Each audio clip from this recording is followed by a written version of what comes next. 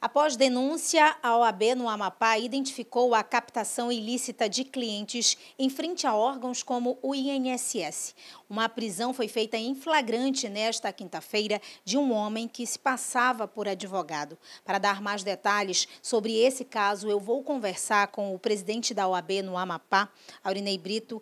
É, presidente, vocês receberam essas denúncias e foram realmente em loco verificar se estava acontecendo essa captação ilícita e foi constatado constatado.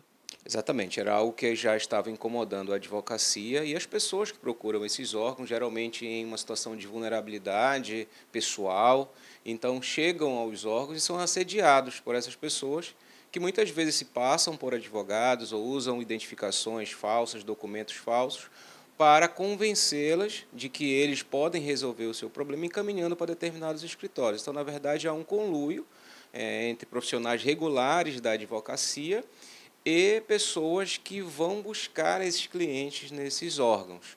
Essa é uma prática ilícita, é importante que, que fique bem claro. Para os profissionais da advocacia que se valem desse mecanismo, eles podem sofrer infrações éticas, cometem infrações éticas e vão sofrer punições disciplinares na ordem dos advogados. Isso se eles também não estiverem envolvidos em práticas daquelas pessoas, com, como a, a questão da falsificação.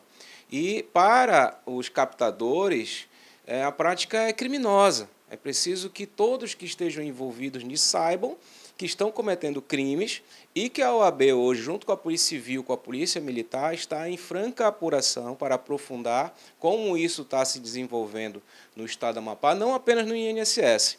Ontem, após a identificação de vídeos é, que nos foram fornecidos, junto com a polícia, na verdade, com o apoio da Polícia Militar, da Rotan, equipe da Rotan, garantiu a segurança e o sucesso. Prendemos em flagrante é, uma pessoa que já identificou outros integrantes da associação criminosa e isso está em inquérito policial na Polícia Civil. Mas a gente sabe também que na Delegacia do Trabalho, no Ministério do Trabalho, no CIOSH do Pacoval, situações semelhantes estão acontecendo. Nós já temos provas que podem incriminar também outras pessoas.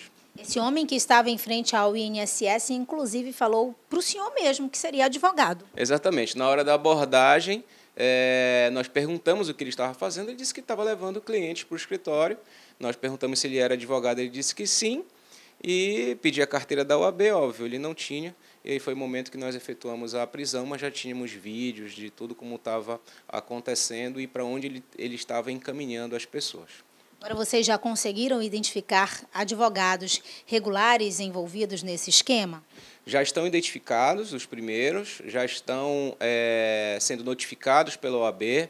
Nós vamos prestigiar todos os princípios de Estado de Direito, direitos de defesa, de presunção de inocência, que são princípios que nós da advocacia é, defendemos, para que eles possam esclarecer sobre isso e apresentar a justificativa para esse fato, se houver. Se não houver justificativa plausível, eles serão, sim, ou suspensos, ou advertidos, ou até mesmo expulsos da Ordem dos Advogados, que é uma profissão e uma, uma instituição que deve servir de exemplos para as pessoas. Exemplo de ética, exemplo de moralidade, honestidade, de defesa dessas pessoas que estão precisando de auxílio da justiça, e não de imoralidades, e não de irregularidades e de licitudes. Então, nós vamos continuar com essa operação, nós estamos criando no âmbito da OAB uma comissão é, que vai fiscalizar o exercício regular da profissão, não apenas nesses órgãos, mas também nas redes sociais, para que a gente possa seguir e prestigiar aqueles colegas advogados que querem trabalhar seriamente, que estão ali dedicados dentro dos limites da ética da profissão.